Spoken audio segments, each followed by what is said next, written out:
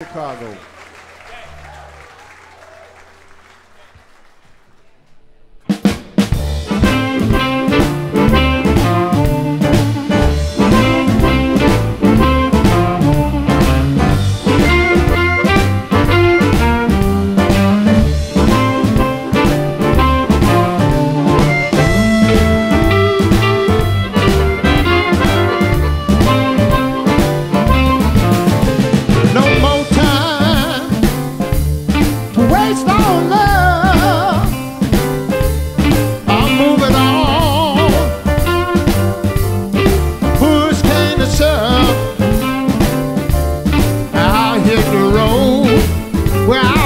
free.